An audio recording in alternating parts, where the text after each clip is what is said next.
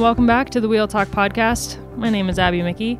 We're going off the rails this week. We we are Sans, Lauren, and Gracie, but I'm joined by Rebecca Charlton. Hello. Hello. I'm very excited. I'm so excited. I figured like we I've had you on the podcast before. We've chatted women's cycling. We chatted Ride London, but we didn't ever get to dive into a lot of other stuff that I think is really cool about you. So I thought, ah, man, we should just have a whole episode where we just kind of chat, and that's what we're doing. that was so lovely. What a lovely introduction. I feel like I always go off at a massive tangent when I'm a guest on your podcast, and we kind of have to just we run out of time. I think I think we went to a record length last time, didn't we? Possible, yeah. I think we did. I think we did. I think I was in in post. I was editing it, and I was like oh man, there's nothing I can cut. it's just going to be a long episode. I hope everyone else agreed. I'm sure that they loved it. I never got any bad feedback. And even if I do, I, have instructed to to Caley, who receives the emails, the editor emails, to never forward me any bad feedback because my fragile self can't cope. Oh, that's that's a whole topic though, isn't it? Yeah, it is. I mean, we could talk we could talk about being a female presenter cuz and and maybe we should. But before we dive into that, this episode is brought to you by the members of the Escape Collective. Head on over to escape.com/join, become a member. There's a bunch of cool stuff going on over there on Escape. We've got great coverage of cycling, many different forms of cycling. We got the best in tech, like the best tech in the on planet Earth, I'm pretty sure, um, in James Huang, Dave Rome, and Ronan McLaughlin. And then there's me covering the women's stuff. So I'm over there writing about women's stuff. I got a newsletter if anyone's interested in reading a weekly newsletter about women's cycling. It is this week I dive into the Olympic selection, which is a fascinating topic at the moment because everything is up in the air with that uh, and the number of riders going for each nation. Nations that have always had four or down to three. The rankings are wild and it's it's super fascinating. So head on over to to escapecollective.com slash join or check out Escape Collective. The Wheel Talk newsletter is over there. Thank you so much. Always feels weird to plug myself. I was going to give a whoop, but I thought, do you know what? I'll be professional. It's the beginning of the podcast. Maybe later.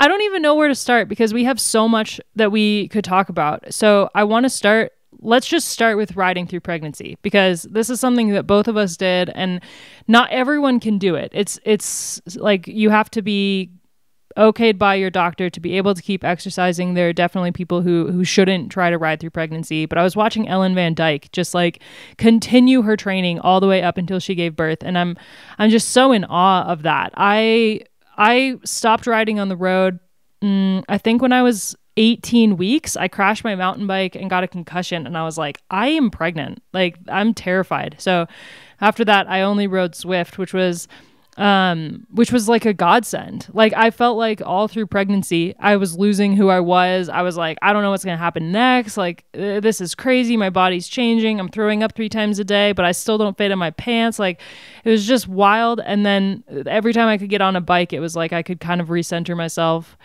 how did you find riding through pregnancy and, and what was your experience with that? Yeah, I think I think that sums it up in in the way that you've just said you just don't know what's next. And I think that I was just constantly adapting. And the biggest thing that I kept saying to people because I was really publicly sharing my journey I I sort of said from the very beginning you know whatever happens I'm going to keep talking about it as much as I can or as much as I feel comfortable to do um, because yeah, it is such a huge unknown for your first pregnancy, um, especially when you're navigating sport and exercise. I think, and early on, I was. I don't know what came over me. I was so determined to actually ride even more. I think just because your body's changing rapidly, um, for me, I felt very, very sick like you. Um, I was just like girls. it's when you're pregnant with girls. I'm convinced.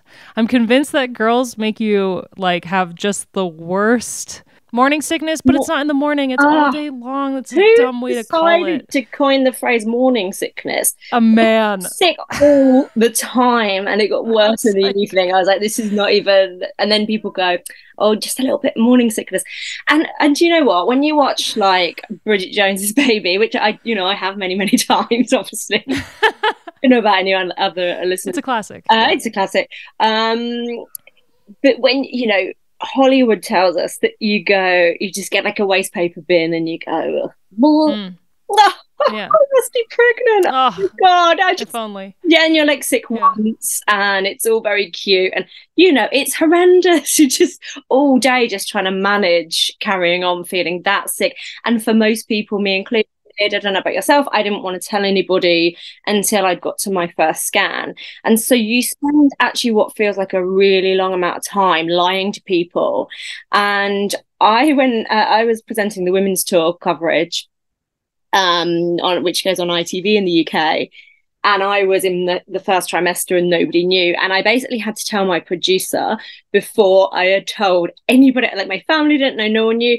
Like I so hadn't started telling people, but I was having to undo my jeans in like the transfer between the start and the finish of the stage. I, I, was hanging my head out of an open window the whole time, disappearing to like be sick the moment I'd done an interview. And I think that's something people don't talk about enough is that when you're sort of made to feel like really we should just keep it to ourselves in the first trimester for so, so many reasons, it does mean that in what's arguably the hardest part of pregnancy, you're doing it on your own and you can't tell your you don't feel you can tell your colleagues. And so yeah, I just said to my producer one day, I, I feel like I need to to mention this because my behavior is so so weird. Um, because you know, I'm just trying to to not be sick. But anyway, again, I've gone off at a tangent, but I think the biggest thing for me was it was an unknown and I wanted to continue to be active.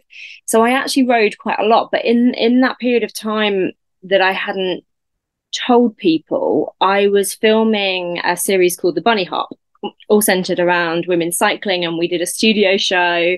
It was such an awesome show. It was really cool. Oh, thank you. I absolutely loved hosting it. And as you're it was, yeah. it was oh, I really appreciate that because it, you know, when you just absolutely love putting something together. And in between the studio shoots, I was going out and riding with professional cyclists and doing on bike interviews. And I was probably just coming, I was probably towards the end of the first trimester. So still keeping things to myself and I went riding with Katie Archibald and we did a and the whole sort of premise is we go to someone's home and meet them on their local roads. And so where she is from in Scotland is fairly hilly. I mean, as somebody that is not good on a hill anyway, um, definitely used to stick to my racing on the track where it suited me. And so we were just going up hill upon hill upon hill. And it's one of those where you go, you know, is this is this the massive hill you mentioned? Oh no, no, no, this is just this isn't even the hill yet. And I was just absolutely hanging. And I just got on with it and I was obviously a lot, lot lot less fit than an Olympic champion. um, but it was it was one of those things where I kind of just thought I'll just carry on doing what I do, and a lot of people tell you to do that in pregnancy. And then I started um, a sort of YouTube documentary series to document my pregnancy um, in line with the sport. And I interviewed a wonderful GP called Dr. Ralph Mitchell that used to be an obstetrician and has delivered many, many, many babies before he became a GP. And he's also a really good cyclist and works in the sporting world as well and has been a sports doctor. And started this interview, and he said, Well, of course, the most important time to rein it in and make sure you're not overdoing it and not overheating is the first trimester, in particular, the very early part of it. And it seems crazy to me now that I wasn't armed with this information. But I started to panic that I'd gone too hard, I'd pushed it too much, I'd overheated too much. And he tried to reassure me by saying, Well, I'm, you know, I'm sure you were only out for a potter on the road. And no, no, no, no, I know. I was out riding with uh, multiple Olympic champions and trying to keep up. um, and, you know, obviously at the time I was worried I'd done the wrong thing. And he was very reassuring and he gave me so much data and statistics and said, Do you know what?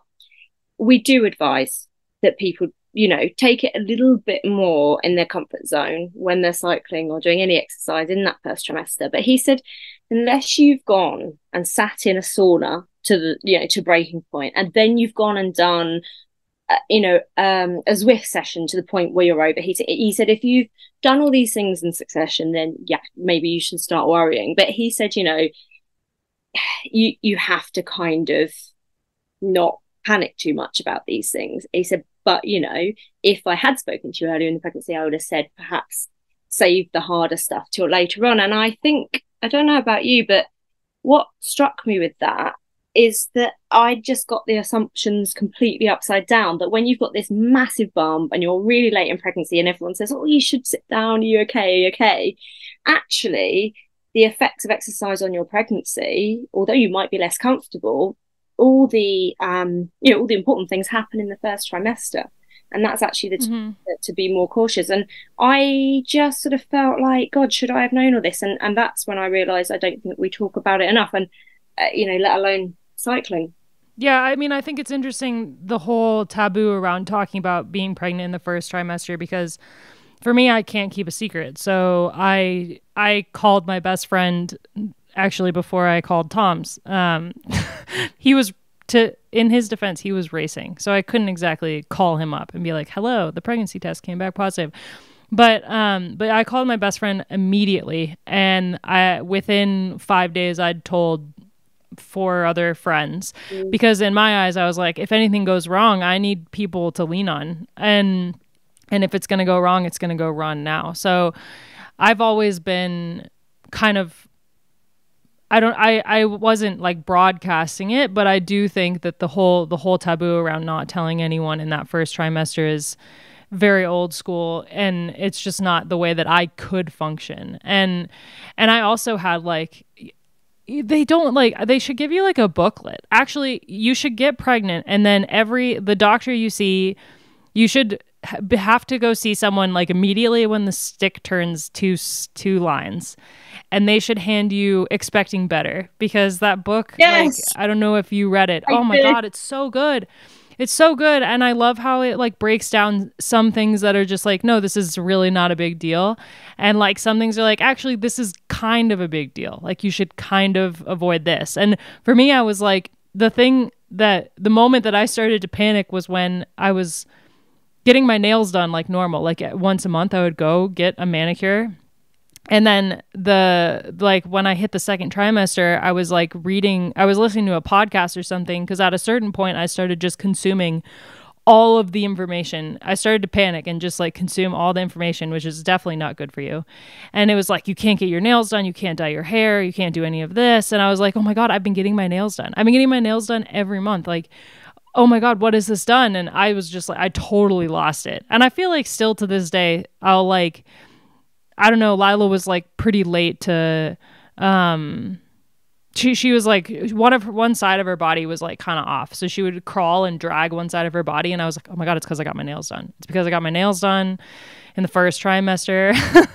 I just feel like there's things that um that they should just tell you like immediately cuz I know like you're not supposed to go to the doctor in theory until like 3 weeks in or something like that and it should be like immediately. You should immediately have to go to the doctor and they should just hand you expecting better. Yeah, I mean I couldn't agree more and I and I'm glad to hear I'm not glad to hear you completely panicked in the second trimester. Did I panic I'm still panicking. When you start to get all that information, it's all my you know, it's all with hindsight. And then you start and this is my biggest thing, don't Google. Of course I did. I told everybody that I yep. was do it and I did it. Um, mostly sat up at night, you know, being sick and Googling. Um and you get the, the things that come up as like top googled are if i have done this already is this a problem and you want the internet to tell you it's fine but it says things like well yes if you have done this then you shouldn't have done it um in the yeah. four weeks yeah.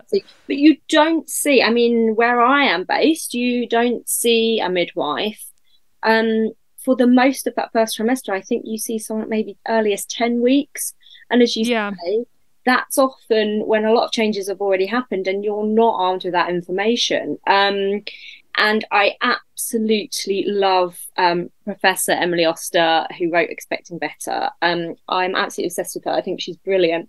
And for me, it was just that sort of rational explanation of things. And I and I think the point you made just there about the fact that she would say, actually, do you know what? You had a second cup of coffee we really don't need to panic about that.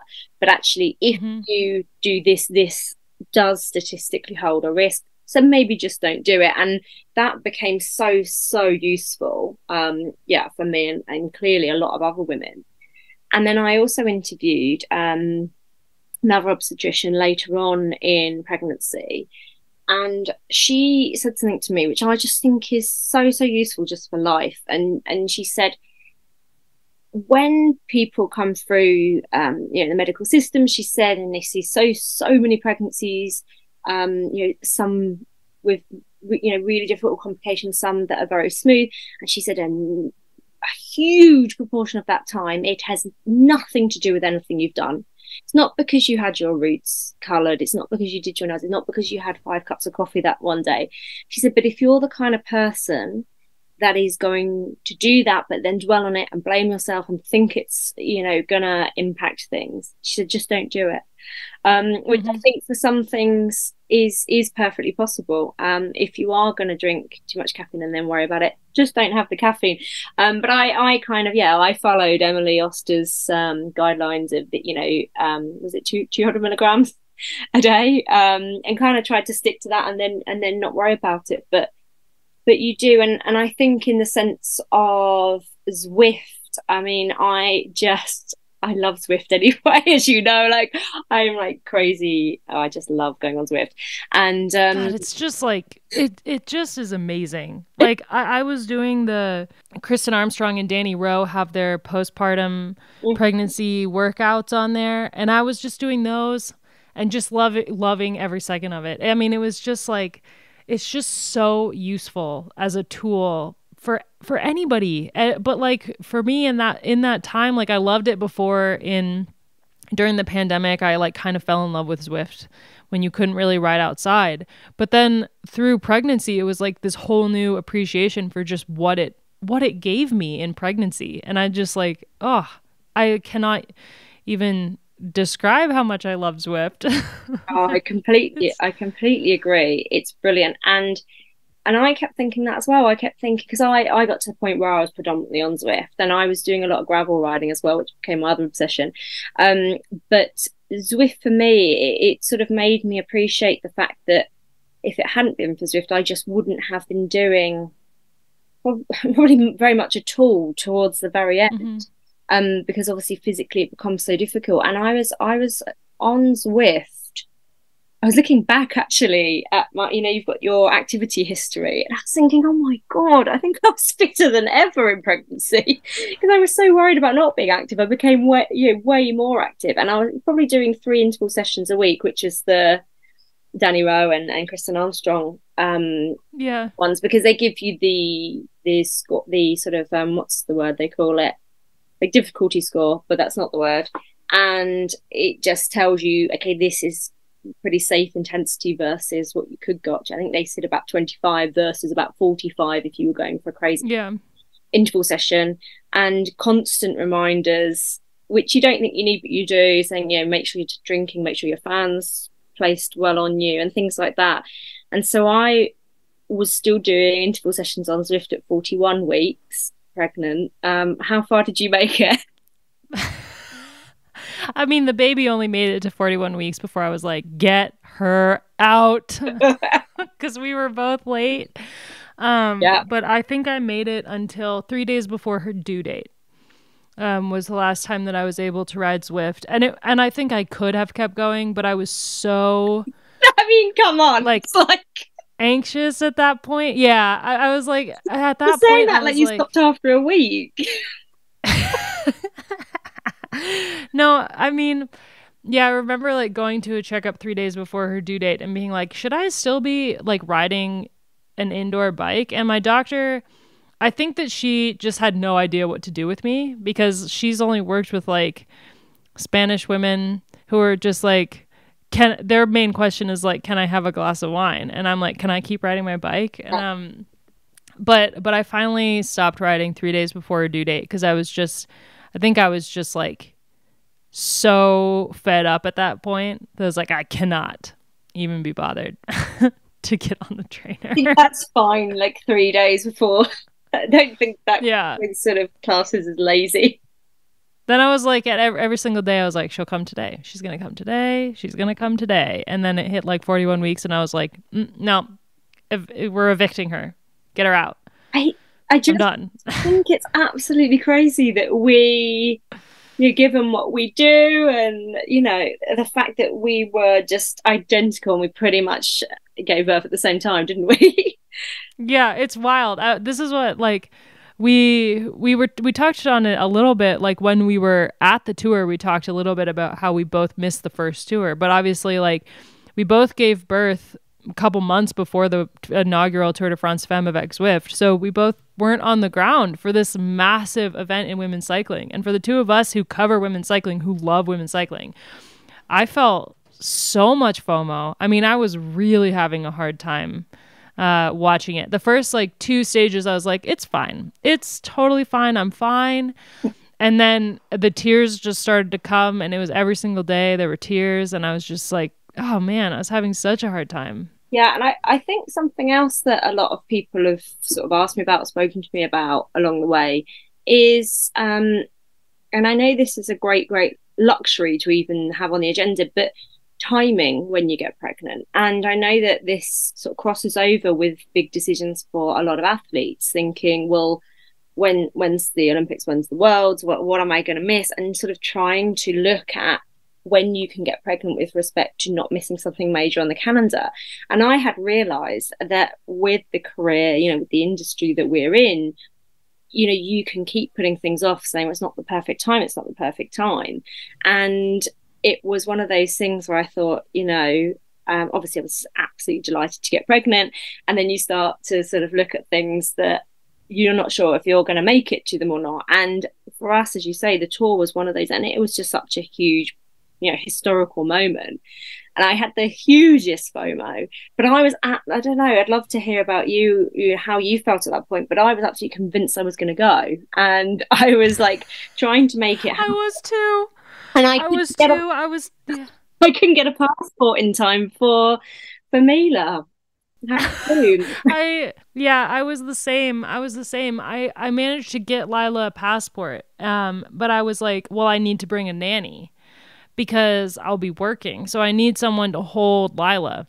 And then it wasn't it my boss was like, "Okay, well, let me know, let me know." And then I feel like it was like 10 days before the tour. I was sitting there and she was colicky, so she just cried all the time. Like she never stopped crying unless she was asleep and it had to be on me. And I was like, I'm delusional. There's no way that I can drive around France mm-hmm. for like a whole week with a baby that will not stop crying, who only wants to breastfeed breastfeed like there's no way. This is i'm being insane. So it wasn't until a, literally a week before the race that i called Caley and i was like Caley i don't think i'm going to make it to the tour de france Femmes. And he was like yeah i, I never booked anything for you because why is this so similar?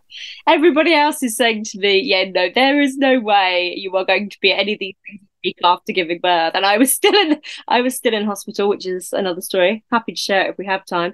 And um yeah i think it was more other people going yes of course you are. Of course you're there in a week. Um yeah and then yeah no nobody was surprised when when i didn't make it. Um but some things were possible for us weren't they that we didn't think we, we would be doing that quickly. So i definitely think it's yeah you've got to roll with reality versus expectation well, we both went to the tour this year, which was an amazing experience. I feel like it was almost better going this year because there was so there was similar amount of hype, but it felt different in that it was standalone. Like we talk about it a bit when the race started, but because it started in Clermont-Ferrand, like we weren't connected to the men's race at all. So it had a very different vibe this year that I wouldn't have known, but uh, like obviously the people that we were around who did get to go to the race last year all can attest to how how different the feeling was for for the tour this year. What we got to experience all of it. We really did, and I know we're going to say it was better because obviously it was the one we we made it to. Um, but what did you that made it better? Think? What did you think when there was the route announcement and it was going to be completely standalone from Paris? It didn't even really like phase me. Like I, I was kind of like, oh yeah, yeah, it makes sense. I mean, I think there was a moment when I was like, oh, it's kind of a bummer because for the women to start in front of the Eiffel Tower, like there's all these photos of them in 2022 standing in front of the Eiffel Tower doing sign on and it's they're just iconic photos. I mean, it's just like it really puts into perspective that this race that we've been dying to have for so long. Like the women finally get to race the Champs Elysees, but then keep going instead of just having it be this one day event. Mm. So I was I was maybe bummed for like a second because I didn't because I wanted to see the women race through Paris. And then I was like, you know what? No, like this is awesome because this means that we can stand on our own. This means that we can have an event that is not constantly tied to the men's race, constantly compared to the men's race. Like we can start to distance ourselves while still having the benefits of the name Tour de France Femmes. I don't know. What did you think? Yeah, it's it's interesting, and I think because you know, during obviously as we've just said during the first edition, you know, we were a little bit busy, um, probably a little bit tired and out of it. Um, Just a tad, probably tad, tad, and I and I probably gave less thought to it than I might have done otherwise. Um, when you know when you have the kind of big reveal, but I found that more people who um, are kind of outside cycling circles, people that don't follow the sport as closely as us, have all said to me about this year's edition, um, "Oh my god, like isn't that just awful though that it's not in Paris? And and it wasn't until people, yeah, that that don't follow cycling a lot have said, well, why why isn't it exactly the same? Which again is another is, is another story. Um, but I found that yeah, people like yourself and other people who were there experiencing it kind of didn't even it wasn't even a talking point was it because it, you know the, the start was just brilliant the presentations were fantastic and it it was just such a brilliant race. So no, I don't think it it became a talking point within the sport. I think it always would have been a talking point the first year that they moved away from great. Paris, but like next year when it starts in a different country than the men finish, I think that it's not even well, the talking point will be that the race is starting in Rotterdam, not that the race is starting not in Nice where the men will finish next year. So I think yeah. Yeah, like it's interesting as the years go by, we're just going to distance. It's going to become more and more its own entity, which I think is a great thing. Mm-hmm. Like we can have races that are tied to the men's race in a way that they'll never be separate. Like Paris Femme will always be, you know, the day before, maybe on the day. Who knows if they'll ever change that? I personally love that it's the day before because it just gives the women the entire day. There's no competing coverage, it's just completely for the women, and I love that. Um, but the, the, that's a race that's never going to be separated. Flanders as well, like they're always going to be tied together. But the Tour de France, like we can have our own mm. our own space for that, which is really cool. Yeah, I'd agree with all with all of that. And um, and I think on a personal note, I know you absolutely adored it as well. Just being there on the ground and following the race for the first time was, I mean, I think again, people were quite, I don't know why, I think people were quite surprised when I said I, I genuinely think that was one of the best working experiences, if not the best experience I've oh, felt. Hands down. 20 years cycling. Yeah. Yeah. I mean, we were working like insane hours. Like I was working from like 10 a.m. until 2 a.m. And I still, when the race ended, I was like, no, no, no, I want to keep going. Like I still had stories bouncing around my head. I, I was still like, it was incredible. And being away from Lila, I thought it was going to be so much harder, but it was like, obviously i think you traveled before then for work it was my first time away from her for more than 18 hours so for me it was like a huge a huge hurdle in the beginning, just leaving her behind. And I cried the entire drive to Clermont-Ferrand. I, try, I cried the whole time, like, I can't do this. I almost turned around multiple times. And then the first like day, it wasn't super busy. It was just like the day before the race. So there wasn't a lot going on. And I cried like all day.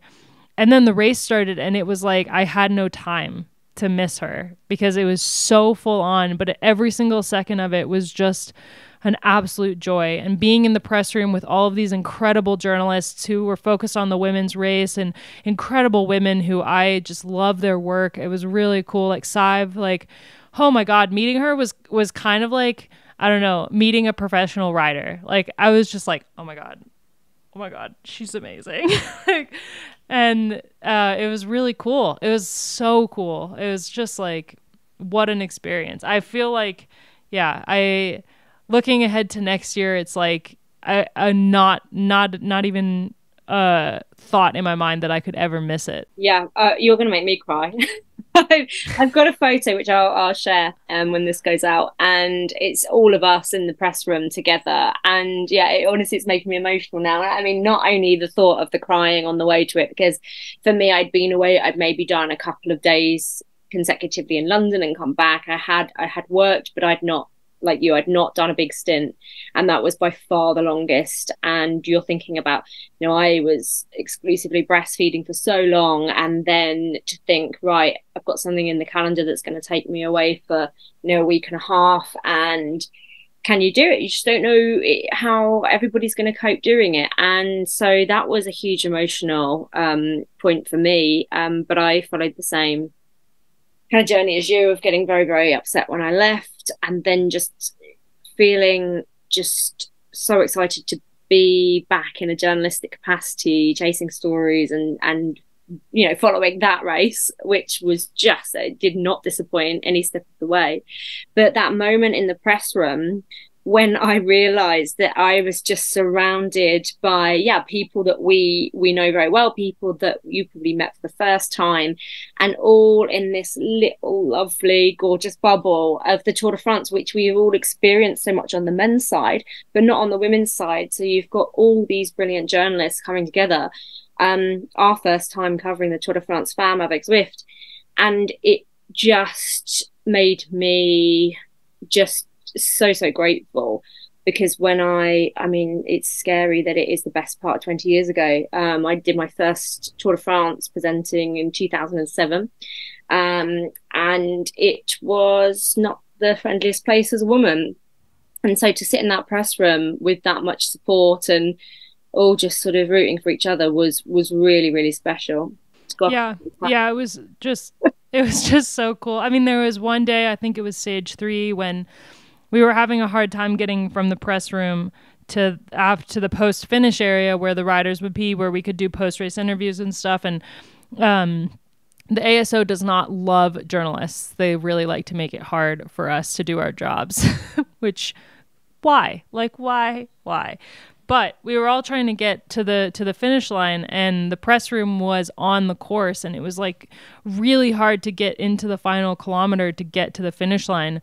And people kept getting turned around and at a certain point we all were in one group together and it we just like stormed the finish line. Like we just all like got on the course and walked up the final like 500 meters into the into the finish and it was like such an incredible moment. Just like all of these badass women in like sports journalism just like no no you can't push us around. Like it was a th- it was a moment that i that lives in my mind rent free like it was so such a cool moment. And i mean i i'm really lucky that i have predominantly worked in women's cycling so i've not experienced as much backlash as you have as orla has like in working in men's I used to be on the the men's the uh, men's podcast at the other place where where I worked, and I would always get so much hate. Like Caley would always get more emails complaining about me talking about men's cycling than he got about anyone else. And and people the the, the go to insult would always be, well, she's only got this job because of who she's married to. Um, them not knowing that I have a degree and I, I do in fact know what I'm doing, but um, you know, but I didn't get the kind of like I know a tiny bit. I yeah, I can get by, um, but I didn't. I I never. I very quickly gravitated to only covering women's cycling and I think part of it is because I just, I was like, you know what? I can't be fussed with the backlash that any female gets. But I do want to talk to you about this because obviously you've done way more work in men's cycling and you've got to experience the the joy of men on the internet. oh, men on the internet.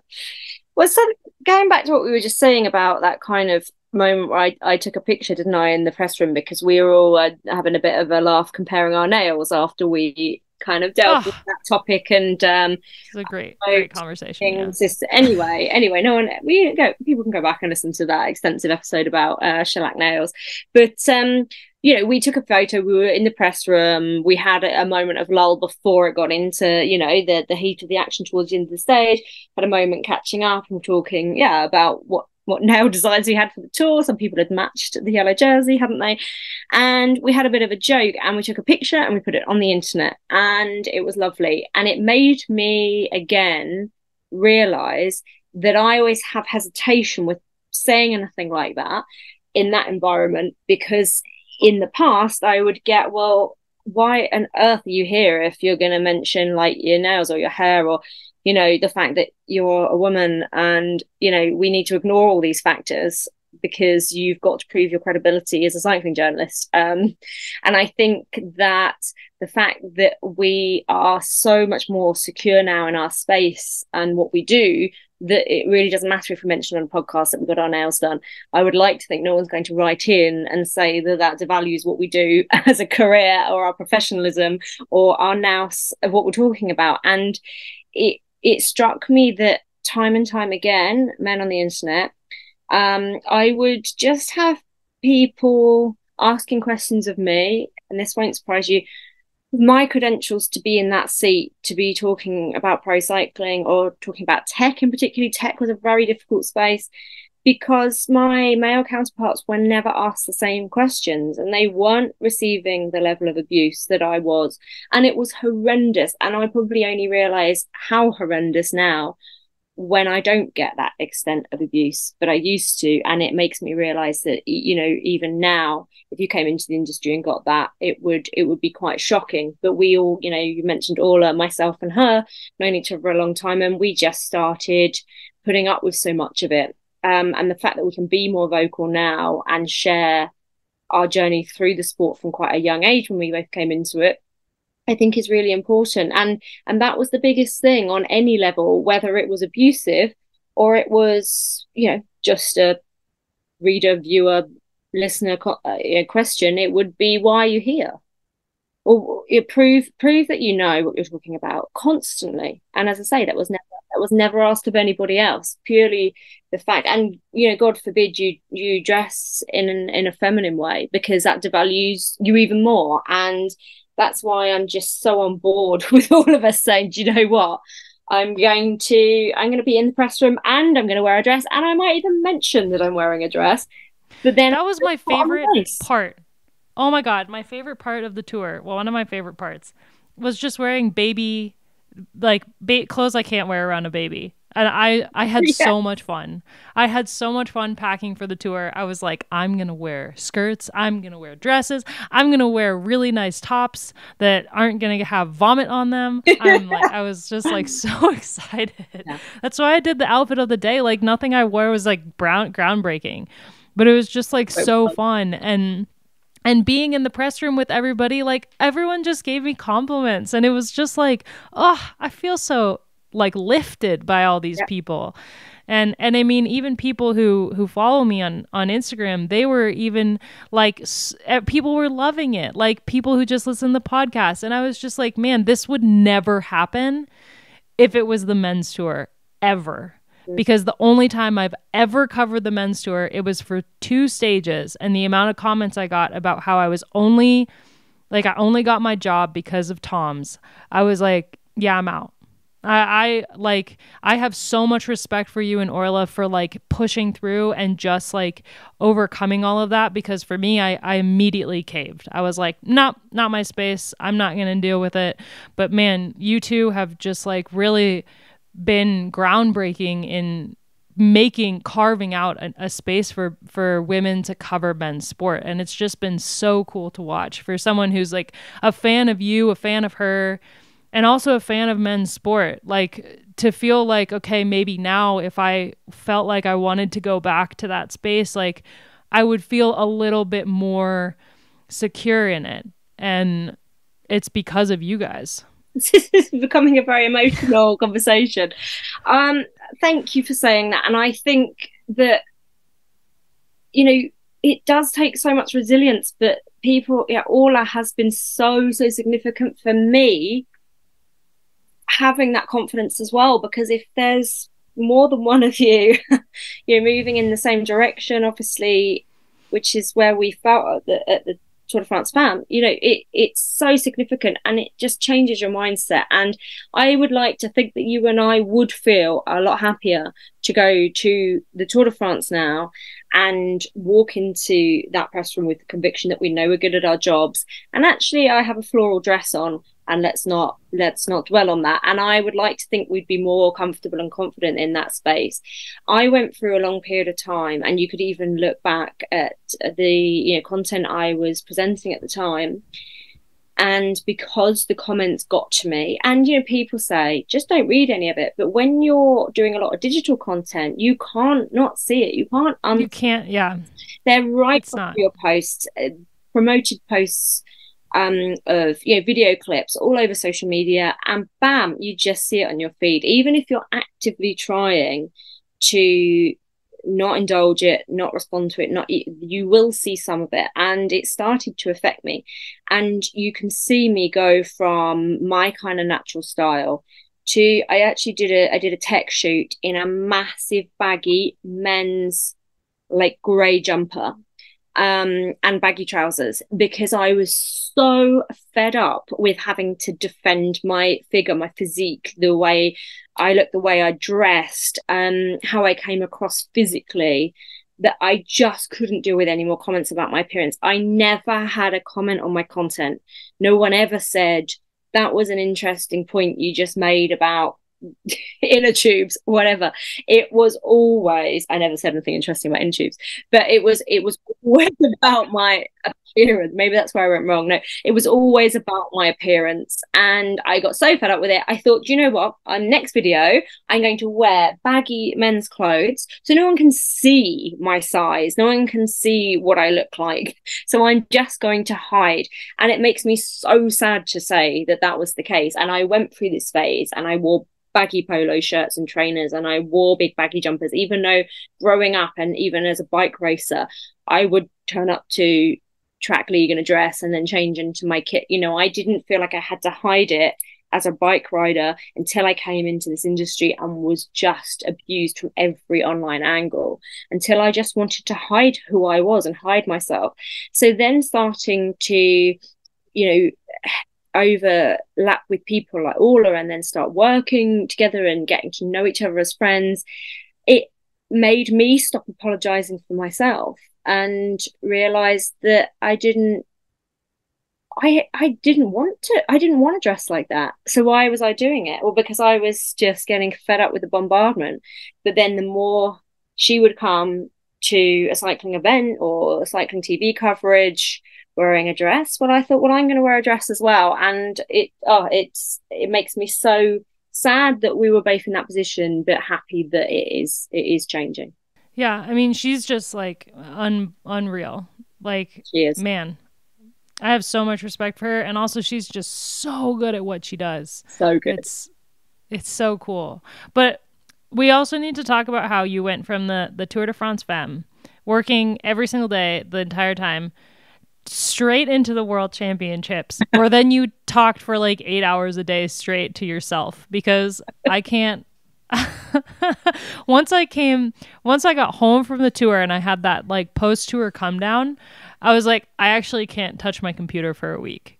I need a break. But you just, you just kept going. Um, well, something I've been thinking about is that we shouldn't make things look too easy on social media, and it's something I don't, I don't talk enough about the night that you've cried because you're leaving your baby for the first time or um, the fact that like logistically it, it, it would it had just become comedy how how logistically difficult it was for me to get from the Tour de France Femmes to the worlds and so I had basically pre-packed all my suitcases for like different jobs. And I'm like obviously trying to pre-look at the weather forecast. So we were going from what turned out to be pretty decent weather, didn't it, across the tour? Yeah. And then we everything but the Tourmalet. Well, there was that. Oh gosh, I could talk. I could talk all day about the Tourmalet day. Uh, I was not prepared for the Tourmalet day. Um, that was a day that was yeah. I didn't. I wasn't ready. Mm. I was so ready. I changed into welly boots and a packer mac halfway up. I was so. I was that was the day that I wore like really. I got go in in prep for the for the tour. I got a couple new outfits, and one of them was this pair of loafers from Reformation that I'd been eyeing for months. And they went out of stock, and then I had an alert set. And so they came back in stock, and I was like, I'm wearing those to the tour. And within two days of the tour starting, I was like, I can't wear those. I am going to get blisters like you've never seen if I wear those because we walk so much. And then I wore them on the Tourmalet day because I'm an idiot. oh, but you look so good. You know, I took them off. I, t- I did. I put them in my backpack and put my tennis shoes on when we got to the top of the Tourmalet because I was like, "This is nuts." You are wearing you are wearing the practical footwear in my in my photo. In the photo, great photo now I think about it. I will go. I will try and remember what we were originally talking about. But my my one of my favorite moments is this the Tourmalet day, and again, it genuinely makes mm. me emotional looking back at it because it was just the best day. It was just incredible, and we'd had we'd basically been told um, sort out your logistics for getting to the top of the mountain because once race day is on, you can't just scoot up in your hire car and um what did we do? Well, we ended up having to leave the car. Oh, I forgot about this. And walk up the Tourmalet.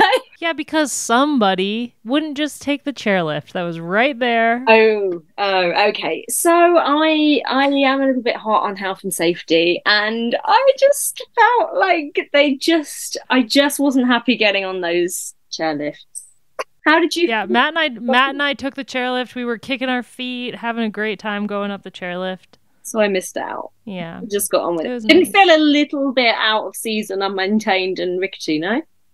No, they they uh they take pretty good care of those things. Okay, okay. Well, that's on me. But the moral of the story is, I think one of the best moments was the jeopardy of not knowing if we were going to make it to the top on foot before the race got there. And not only professionally did we want to be able to podcast um, from the top, um, That's where the TV was get well. caught halfway through the peloton, you know. Um, so yeah. we walked up and we met so many people on the way. It was brilliant. We were literally just soaking wet with like mist and rain, but also just sweating so much from like underestimating how hard it is to walk several kilometers up and down a mountain. Um, but I think I love moments like that because you end up just having to do it the hard way but it's always just always like rewarding and hilarious. I think we were exhausted by the time we saw you.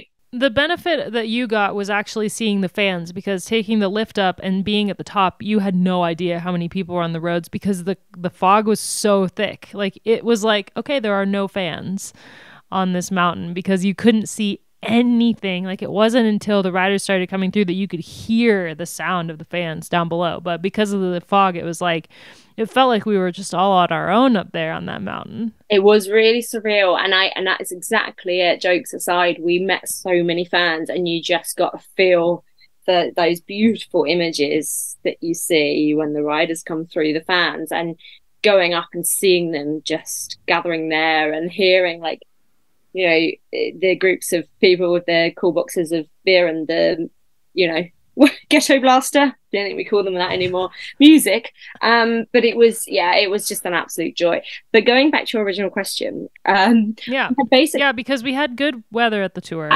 And it was hot. And then we went to Scotland we to and it was not hot. And it was chucking it down. Um so I'd kind of had to preempt the weather for Scotland, pack a massive suitcase because I was um, on the host broadcast for the UCI. So obviously, um, going from podcast to being in vision on television, I had to make sure I was packing different outfits for every day. So the packing, I think, was the biggest part of all of it. Um, was just um, yeah, bouncing kind of from from one long job to another. Um, but I love a challenge, and it was just it was just brilliant. I think because the women's racing was so good at the worlds as well, coming straight off the back oh. of the second tour. For me, again, I just I was pinching myself. Um, yeah, that I had the opportunity to be at the heart of all of it, talking about it every day, um, which is an absolute dream but also having the level of racing to talk about. You know, I think it becomes a cliche. People go, "Oh, isn't that a great race? Isn't that a great race?" But it it truly was, wasn't it? There wasn't a dull moment. We had so much to talk about, so much drama unfolding, and so many dynamics. And um, yeah, I, I, it was just an utter joy that whole time. I mean, for for us, we got really spoiled by the tour worlds back to back that were just unbelievably good. Every single day of the tour was like could not have been scripted. There was drama off the bike, there was drama on the bike. It was like unbelievable. And then we turned around and went to the the worlds where, you know, the rider that won was the rider we all knew was going to win, but the way in which it happened was so exciting that it was you wouldn't have even like you couldn't take anything away from the race because we knew what the outcome was going to be. Yeah, completely agree.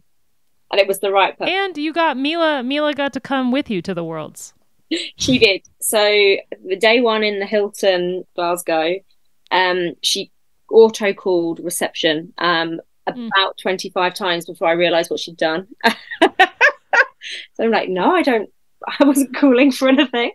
Uh, like, unraveled every bit of the toilet roll, like, mm. wait, like face planted into the shower. Like she, um, she had a whale of a time in the Hilton. Um, but it was really special, and she, yeah, she got lifted on shoulders to see the end of the racing, and um, it was, it was really, really lovely having her there. I, yeah, being away. If we had, if it hadn't been in Scotland, completely back to back, um, that would have been very, very difficult. But it was great to have her there. And um, yeah, I, I, mean, I didn't even mention the the massive delay at the airport trying to get from France to the Worlds. Um, I almost didn't get let out of Toulouse because they said my my the last time I'd been there, like my um, I hadn't got my stamp. So um, oh no, yeah, they didn't they didn't want me to leave Toulouse, and then the flight was massively delayed, so we were just basically asleep on this big um, red sofa in the airport, thinking, "Are we going to make it to the worlds or not?" So it was. Just... I actually remember seeing this. I remember seeing this on social media. but you made it. I made it. I made it. Um, and yeah, everything everything is so much more challenging to make sure that you're yes doing the right thing and spending time with your your little one as well. So it's um yeah, but she's had an exciting time, as I know that Lila has as well. Yeah, she had a great time at the Worlds. There was some some well, we both got COVID, which was not super fun. Um, and I was messaging you about it the whole time because you had experience, and I was like, I don't know, I don't know what to do. This is terrible, but we we came out of it fine. But yeah, like watching the men's race, she just like she gets so excited. Like I think she can just feel the energy. So she'll like stand there and clap and like go like ah ah, and it's just really cute. Oh, I love it! I love it. Me, Mila guys, like she gets so excited. I just love that. yeah. Oh man. It's great. It's so great.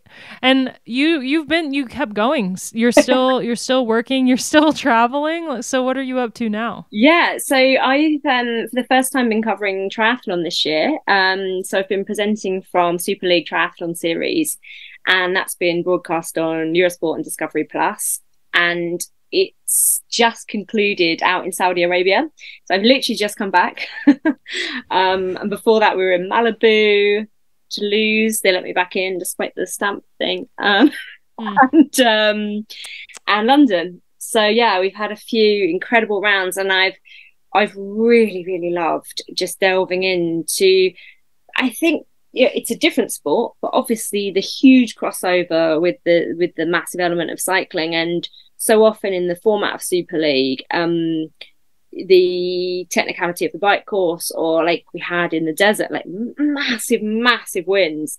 Um, for me, it's given me something that I know very well, but there's such an you know another huge element to it that I've had to kind of really delve into and research and learn and that's been really really exciting. And the racing again has just been amazing. Um yeah. and for anyone that doesn't know the super league format it's basically it's just so fast and furious. They do different race formats but the what we've just seen in NEOM is three triathlons back to back with no with no gap with no break. So they're just like three disciplines, three disciplines, three disciplines, finish, and it's just on from the gun. And I've never seen anything like it. It's it's so entertaining. Oh man, okay, I'll have to check it out. I've I've watched a triathlon in my time, but mostly because I'm a big fan of Flora Duffy. I went to college with her, so I got to cheer her on. I love it. All right, let's wrap up the episode. I'm sure that we could keep talking like for another hour. Yeah, we could. But there's so, there's things we didn't even get to get to, but we should wrap it up with what we're obsessed with. So, do you have anything anything good? Oh, I love this part. Um, I do, I do. Um, Apple TV. I've been, I've just finished watching. I think it's called The Supermodels. Um, mm. it's about the original supermodels. Um, Cindy Crawford, Naomi Campbell, um, Linda Evangelista, uh, Christy Turlington. They're the ones. And the reason I am obsessed with it is because I I I love it's a candid documentary series. I absolutely love it. But there's for me quite a huge crossover with the changes we've seen in cycling because they were saying if they were to come into the industry and um you go for a casting to try and be a model now, they didn't think any of them would have made it um, because Cindy Crawford was saying that she was seen as as a little bit quirky, and she had what was now you know referred to as the beauty mark. But in the beginning, they were saying we're going to have to Photoshop your face, and actually. By model standards, she was quite curvy, and they and and she actually said, "I want to go and get a degree, and then I want to come back and see if I can make it as a model." and all of them had these really interesting starts in modeling and were all told like you know you're not you're not um I guess uh, what's the word I'm looking for? They they weren't homogenous. They weren't, you know, just going to look the same as the next person, and they all had these incredible careers that just changed um, the fashion industry. And they were saying, yeah, now they don't think any of them would have made it because they that's not what people look for now in models. Anyway, it it got me thinking about kind of generations and how you can make it in your chosen field. And if you look back to Victoria Pendleton. Um, on the track in the UK, it was similar for her in that you know, she showed huge, huge talent, and they invited her on to the Great Britain program that she wanted to go and get an education. So they paused it for her while she went and got a three year degree, and then she came back, and the rest is history, and won everything there is to win.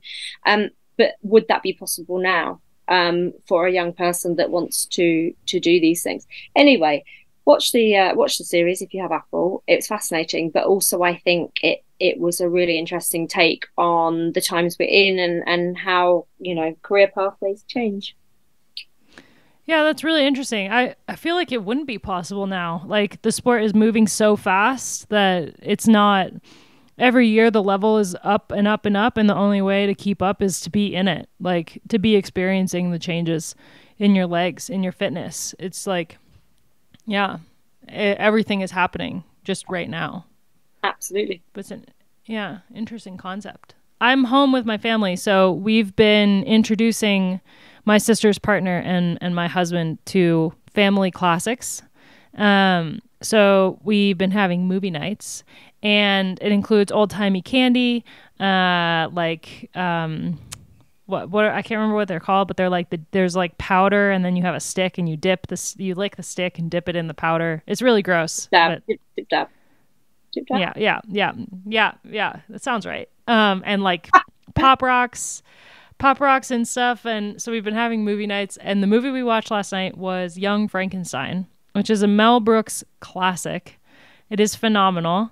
Uh, if you've seen any Mel Brooks movies, I think the most famous one is probably Spaceballs, but Young Frankenstein is just uh, the jokes are so bad and so good, and some of it just really doesn't hold up in the modern lens, but it is f- just very good. Yes. Uh, my sister and I watched it for the first time when I think we were like seven and four. My mom was like, Oh, they'll love it. It's funny. And it's black and white. So we immediately thought it was a horror movie. And then neither of us could sleep for like a week afterwards. Um, so it's funny to watch it now with the perspective of the first time we saw it, we thought it was a horror movie. I love that. Um, but yeah, Tom's only laughed two times the entire movie. And I was like, Bro. But do you do the thing on. where you watch? Like, why aren't you? And I watch him. More funny, yeah. Yes, for sure. Because I've seen it so many times that I could quote all the all the jokes. And so I'm watching him like, is he gonna find this funny or not? Yeah, and then you anticipate it coming up, and he doesn't look like he's engaged. Are you? Come on, focus. This sounds, sounds really fun. That's exactly what I did. Yep. Uh, well, I can't thank you enough for being here. This has been just so great to chat with you, and and yeah, we could definitely keep going. So I'll have to have you back on at some point. Thank you so much for having me.